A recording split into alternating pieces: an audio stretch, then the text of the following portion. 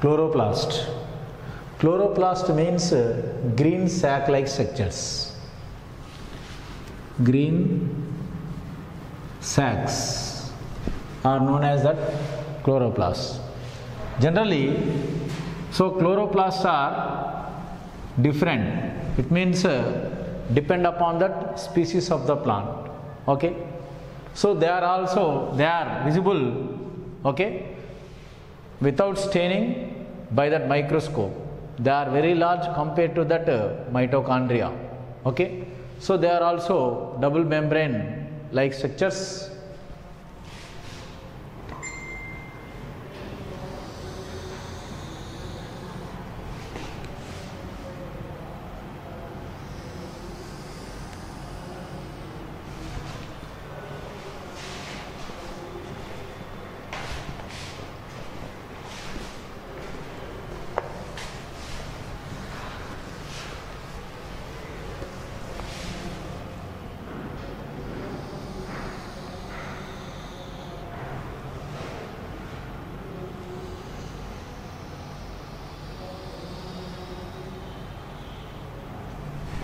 They are the double membrane like structures.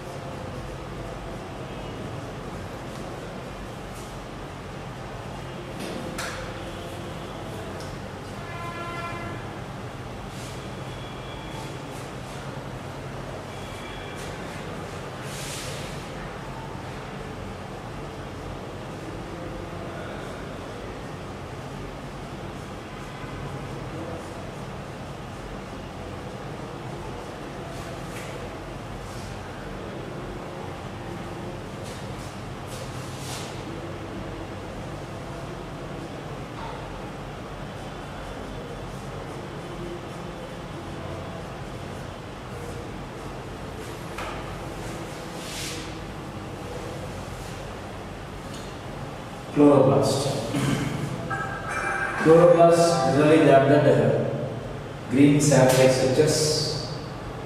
Chloroplasts are clearly visible under the microscope because they are large in size. Sir, I words explain this. Yeah, yeah. Malina. Uh, chloroplasts are green sac-like structures. Generally, they are okay, large in size. So that they are clearly visible by the microscope. Chloroplasts, so generally, they are uh, present in the different plant species.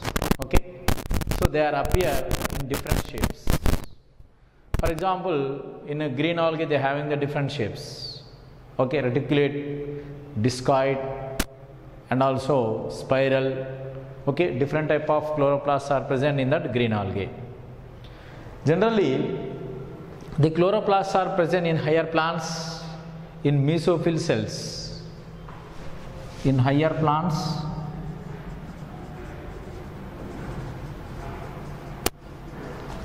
chloroplasts are present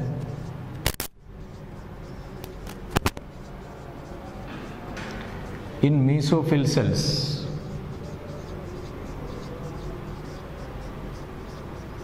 in mesophyll cells. Due to the presence of okay chloroplasts. Chloroplasts having that chlorophyll pigments.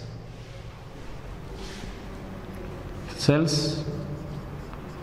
Chloroplast having chlorophyll pigments.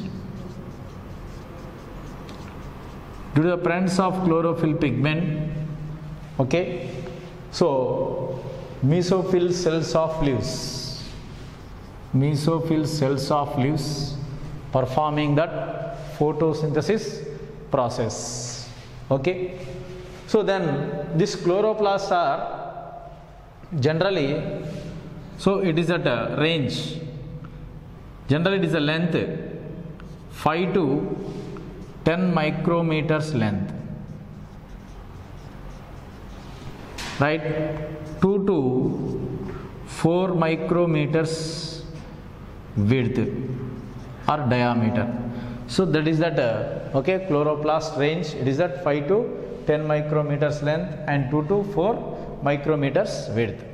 Generally each okay mesophyll cell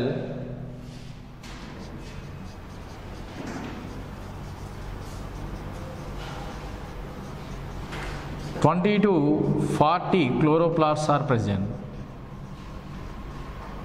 Twenty to forty chloroplasts are present in each mesophyll cell. But in green algae, in green algae,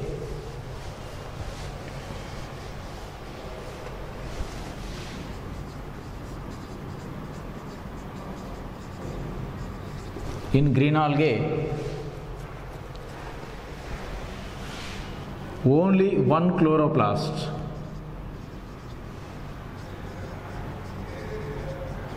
Only one chloroplast is present. Example chlamydomonas. Example chlamydomonas. Okay after that in the structure of the chloroplast chloroplast is a double membrane structure outer membrane and inner membrane okay? Outer membrane and inner membrane between the space is present. So that is known as the periplastidial space. Outer membrane is permeable but inner membrane is less permeable. Inner membrane is less permeable. Okay? So inside the membrane flattened sac like structures are present. So this flattened sac like structures are known as thylakoid. Flat flattened sac structures. Flattened sac structures are known as are known as thylakoid.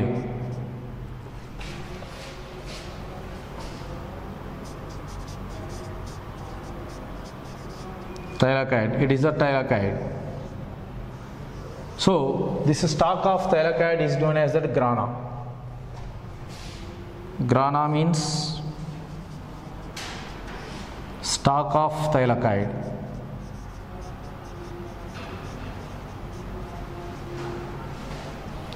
stalk of thylakoid is known as that uh, grana okay? After that so inner space of thylakoid is known as the lumen. For example it is a thylakoid.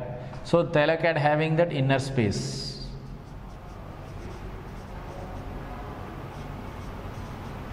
Inner space of